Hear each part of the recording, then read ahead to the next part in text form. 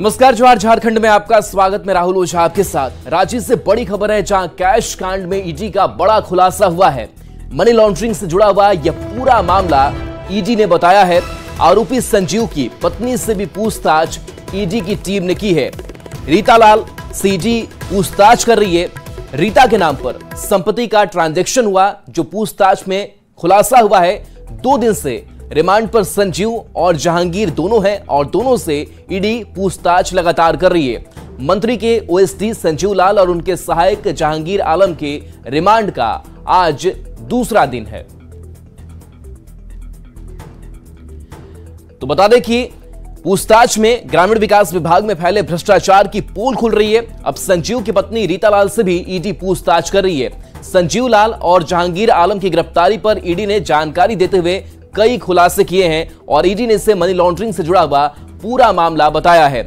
ED की team ने मंत्री आलमगीर आलम के ओएसडी संजीव लाल और उनके सहायक जहांगीर के ठिकानों पर भी छापेमारी की थी, जिसमें 37 करोड़ से ज़्यादा कैश जब्त किया गया था।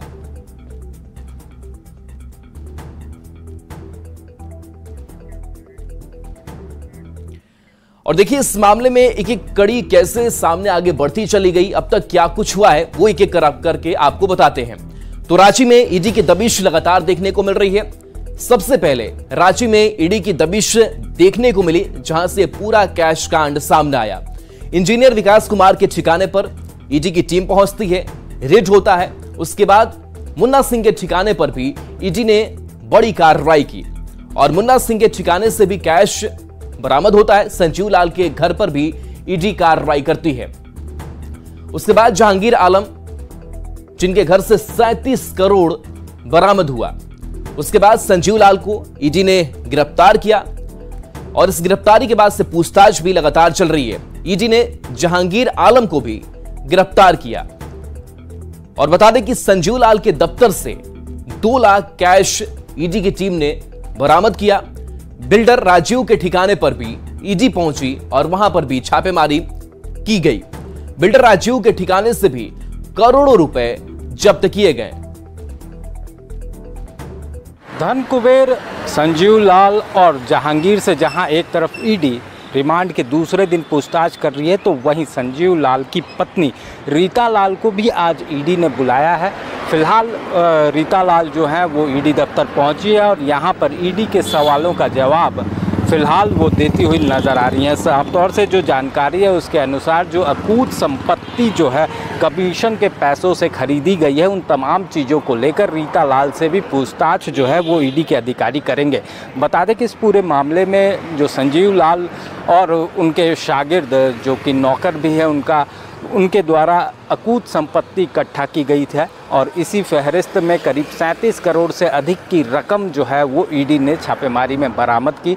तो वहीं कई संपत्ति के कागजात, ट्रांसफ़र पोस्टिंग से संबंधित कागजात के साथ साथ कई अन्य आपत्तिजनक जो कहा जाए तो दस्तावेज़ जो हैं वो बरामद किए गए हैं, जिनके आधार पर ईडी की टीम जो है वो लगातार पूछताछ कर रही है, सोर्सेज की जानकारी खंगाल रही है। तो वहीं कई ग्रामीण विकास विभाग के जो इंजीनियर हैं, वो भी ईडी के रडार पर हैं, जिनसे, जिनके यहाँ भी ईडी की दबिश दी गई थी। तो अब उसी मामले में रीता लाल को भी यहाँ पर बुलाया गया है। अब देखना होगा कि ईडी के अधिकारी जो उनसे पूछताछ करते हैं, जो सवाल करते हैं, उसके जवाब से वो ईडी के अधिकारियों को कितना संतुष्ट कर पाती हैं। रीता लाल अपने वकील के माध्यम से यहाँ पर पहुँची हैं और फ़िलहाल ईडी के अधिकारियों के सवाल का जवाब दे रही हैं। रांची से न्यूज़ एटीन के लिए ओम प्रकाश। और न्यूज़ एटीन संवाददाता ओम प्रकाश हमारे साथ फ़ोन लाइन पर भी जुड़े हैं। ओम प्रकाश, दूसरा दिन और पूछताछ इनसे की जा रही है। अब इनकी पत्नी से भी पूछताछ हो रही है। किस तरीके से अब नए जो खुलासे वो हो रहे हैं, मनी लॉन्ड्रिंग का जो मामला है, वो अभी ने बताया है।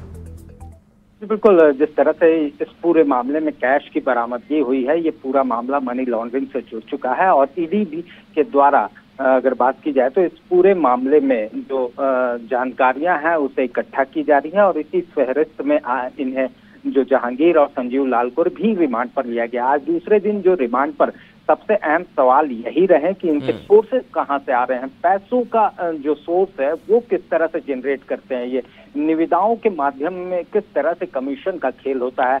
और ये कमीशन जो सेक्ट होते हैं इसमें कौन कौन से लोग शामिल होते हैं? किन की मदद ली जाती है? और ये पैसों का बंदर बाट किन किन लोगों तक जाता है? ये तमाम सवाल जो हैं वो ईडी के अधिकारी जो हैं वो उनके द्वारा किए जा रहे हैं। और इसी फहरिस्त में अगर बात की जाए तो इस पूरे मामले में रीता लाल को भी तलब किया गया है। आज उनसे भी करीब पाँच घंटे जो पूछताछ जो है, वो की जा चुकी है। अभी भी वो ईडी दफ्तर के अंदर ही मौजूद है और तमाम जो पूछताछ का सिलसिला है, वो जारी है। फ़िलहाल इस पूरे नेक्सस को डिकोड करने में ईडी की अधि, जो अधिकारी हैं वो लगे हुए हैं और कहीं ना कहीं जो चलिए बिल्कुल ओम प्रकाश तो बड़े खुलासे हो रहे हैं और चलिए हमारे साथ बने रही अगली खबर पर भी आपके पास वापस लौटते हैं। तो देखिए रांची से खबर है जहाँ रांची में एक ज़मीन कारोबारी की आत्महत्या से हड़कम मच गया है। Silver del apart